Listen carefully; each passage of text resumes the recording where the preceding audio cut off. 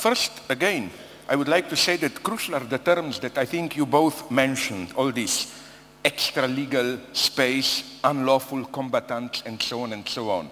The paradox is that I think we should uh, read these terms as strictly connected to universal human rights. To what? I have nothing against universal human rights. What I'm opposed to is how the reference to universal human rights is de facto used in today's ideological struggles. That in order to sustain, support within the space of ruling ideology universal human rights, you have to construct a space which is no, not, no longer the space of the enemy, in this sense, enemy to whom the rules apply, either Geneva Convention and so on, but you have to create to what the great American thinker and politician Dick Cheney referred to as the gray zone once, you know, like we have to do something discreetly, don't ask us around uh, about it and so on and so on. Here I would say things are even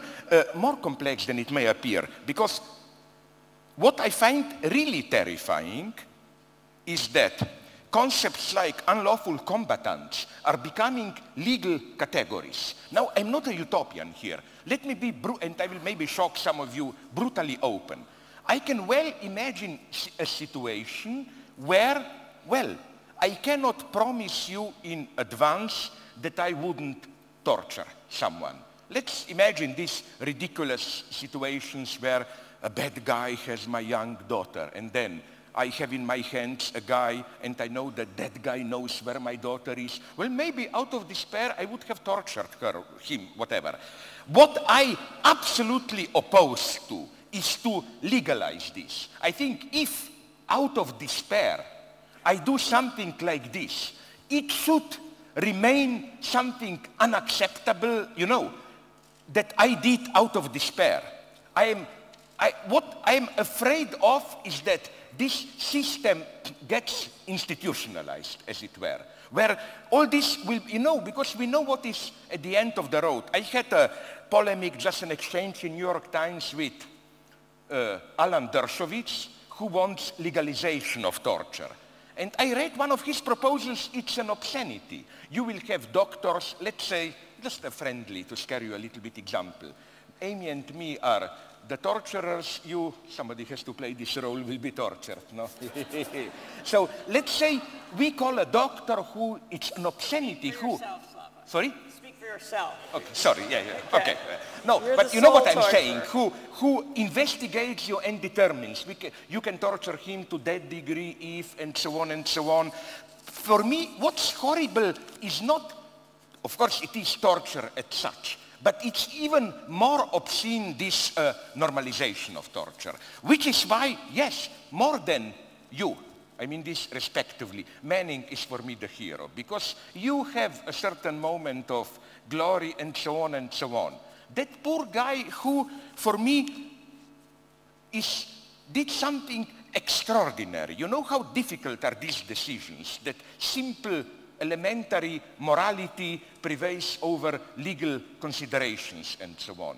I think that, I hope I'm not a utopian. I, I even, like, don't you have any of these organs who propose candidates for Nobel Peace Prize? That would be a nice crazy movement. If there is a person who deserves Nobel Peace Prize today, it's Manning or people like that. This, you know why? No, no, I'm not bluffing here simple, ordinary people, and I'm not even idealizing him.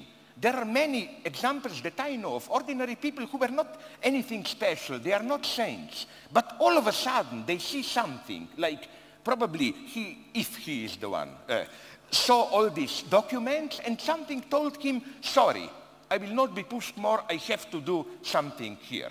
This is so precious today because it also goes against a note which is in a way true, but it's exploited by our enemies. This idea, ideology today is cynical, people are totally duped, and so on. No, they are not. I prefer, I prefer her to play a little bit of simple moralism. From time to time, there are ethical. Uh, ethical, uh, uh, ethical miracles. There are people who still care, and so on and so on. This is very important because, you know, like, let's not leave this domain of a care for simple, dignified, ethical acts to agencies like Catholic Church and so on. Who are they to talk about, who are they to talk about it? We, the left, should rehabilitate this. I know it doesn't sound very postmodern or cynical. This idea that there are out there quite ordinary guys, nothing special, but who all of a sudden, as if in a miracle, do something wonderful. That's almost, I would say, our only hope today.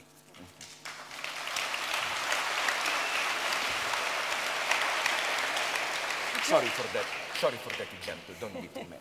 Uh, speaking on that, uh, one of the difficulties for alleged sources, uh, and actually we have another one in prison which um, has received very little recognition, which is the case of Rudolf Elmer, uh, who's in prison in Switzerland for allegedly revealing uh, secret bank information. Um, there's no trace to us, but that is the allegation that has been investigated, um, is that if they put up their hands and say, yes, yes, it was me, uh, it makes it very easy to defend them in a moral way. It makes it very easy to shower them with awards. Um, but until they do that, their, their, their defense is that they didn't do it. So um, it is very hard for, for us to, um, to start praising people because inherent in that praise is uh, we would be alleging that they are, are guilty of the, of the offense. Speaking of banks, Julian, um, you mentioned a while ago that you had a good deal of documents on Bank of America, but they haven't been released. Are you planning to release them? There's a complication with those documents and another group of documents. So we, we are under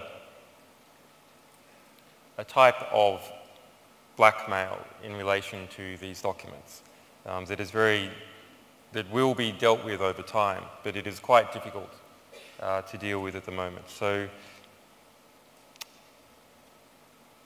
I don't want to specify what type of blackmail that is because it might make it harder to address uh, the situation.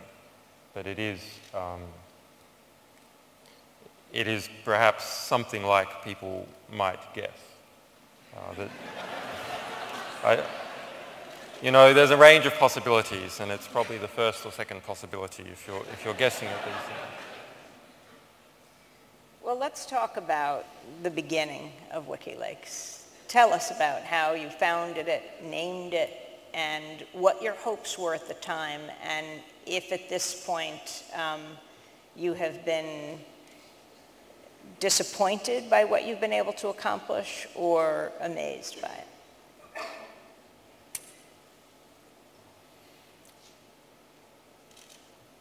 WikiLeaks, how it started? I think I am amazed by it, of course. I mean, who couldn't be?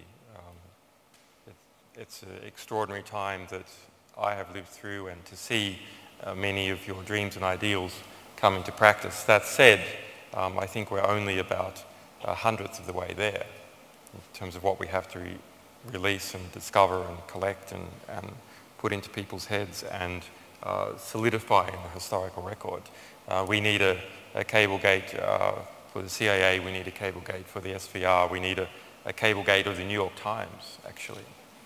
Um, all, the, all the stories that have been suppressed and how they've been managed. And once we start getting that sort of volume and concretize uh, and protect um, the rights of everyone to communicate with one another, which to me is is the basic ingredient of civilized life. It is um, not the right to speak. What does, the, what does it mean to have the right to speak if you're on the moon and there's no one around? It, it doesn't mean anything. Um, rather, the right to speak comes from our rights to know. And the two of us together, someone's right to speak and someone's right to know, produce a right to communicate. And so that is the grounding uh, structure uh, for all that we treasure about civilized life. And by civilized, I don't mean industrialized. I mean people collaborating to not do uh, the, the dumb thing, to instead learn from previous experiences and learn from each other to pull each other, pull with each other together in order to get through the life that we live in a, in a less adverse way. So that quest to protect the historical record and enable everyone to be a contributor to the historical record uh, is something that I have been involved in uh, for about 20 years in one way or another. So that means protecting people who contribute to our shared intellectual record. And it also means protecting publishers and encouraging distribution of historical record to everyone who needs to know about it. After all, an historical record that has something interesting in it that you can't find is no record at all. So that long-term vision is something that I developed in various ways. And I saw in around 2006 that there was a, way of achieving justice through this process uh, that could, could be realized using the intellectual and uh, social capital that I had available. And so that's quite a, a complex plan. You, you, should perhaps read, there's a couple of essays on WikiLeaks that go into this uh, in more detail. So, to, to, so to, to, pull all this together was a difficult thing to do. It's, um, and to plan it out and to marshal the resources and to build um, not only an ideology that people could support and were encouraged by and the sources were encouraged by, um, but that people would defend. And it's, it's one of the, I think it's extremely interesting that although twice this venue was cancelled, not this venue, sorry, twice this the venue that we had rented for this was cancelled, including at the Institute uh, uh, for Education from the University of London, under the basis it would be too controversial. And so it, that's why we ended up at, the Trots at, this, at this venue. That despite that, that actually Slavoj Zizek, myself and Amy Goodman have been managed, managed to pack out nearly 2,000 people in London on a Saturday um, at 25 pounds a seat. So I see that as extremely encouraging. On, on the one hand, we have this sort of the everyday tawdry institutional censorship of saying that something is too controversial and therefore you can't hold it in an institute of education. Um, on the other hand, uh, all of you came. And I'm not sure that that would have happened five years ago. In fact, I'm pretty sure that wouldn't have happened five years ago.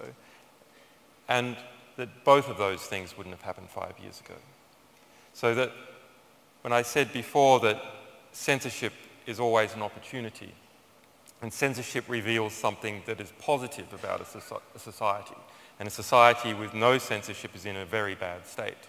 That the, this, if you like, the censorship of not giving us this venue so easily um, is also related to why you're all here. It is the other side of the coin, that people are worried that change is, that change is possible. And you're here because you think that change is possible. And you're probably right. Um, so that's been a very interesting journey to see that.